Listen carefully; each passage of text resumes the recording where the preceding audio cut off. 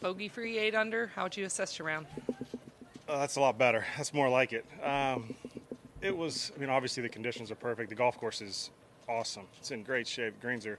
When the greens are this good and it's the weather's like this, you got to take advantage of it. Unfortunately, I did that today. I, that's obviously as well as I've played in a long time. Drove it great. Iron play was really good and nice to see putts go in as well. So um, it was as complete as round as I've played in a long time. And you're seeing a 60 up there.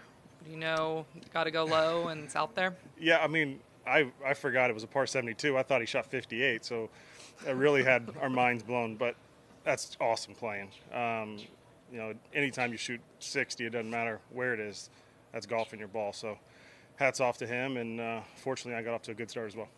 Said your irons are feeling strong. Is there anything since Napa you've been looking to fine tune? I I got into Dallas and worked with Randy Smith, and I, everything's just coming together. He simplified a lot of stuff for me, and I've seen stuff at home. I just haven't seen it on the golf course, so it was it was nice to see it out here today. I mean, nothing's due or overdue, but it feel like a round like this was kind of coming together.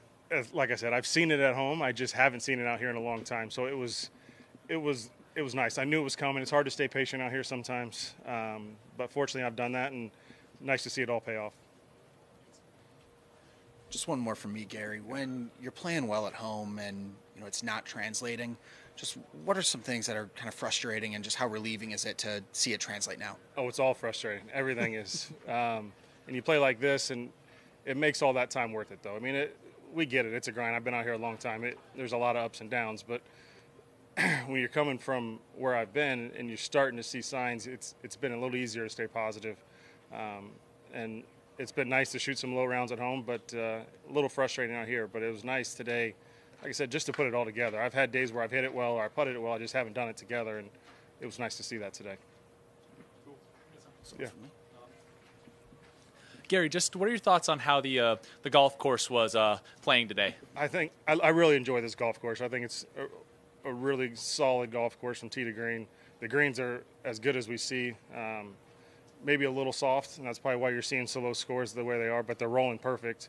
Um, when they're this soft, you can probably be a little more aggressive with the iron play. So that's probably why you're seeing low scores. But the golf course, I think, uh, is, is really, really good.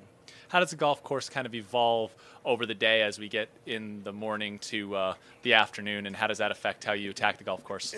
When the weather's like this, I mean, we're hard dealing with hardly any wind, so I don't think there was usually. It's nice to get off to a golf course with no wind in the morning, and it picks up in the afternoon. Today, there was just no wind, so I think that's why you've seen low scores from top to bottom throughout the day. Um, the golf course probably didn't change very much does seeing a 60 right off the bat um, uh, in this golf tournament kind of uh, almost make you feel like you have your work cut out for you, or is it more encouraging insofar as that you see a low number out there? I think it's more encouraging.